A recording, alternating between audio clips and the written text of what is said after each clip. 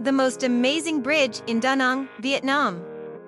The Golden Bridge in the Ba Na Hills is one of the most popular tourist attractions in Da Nang.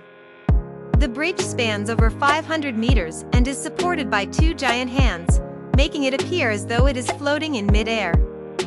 Visitors can take in panoramic views of the surrounding mountains and forests, and there is also a small shrine located at one end of the bridge. While the bridge is only a few years old, it has quickly become one of the most iconic landmarks in Vietnam.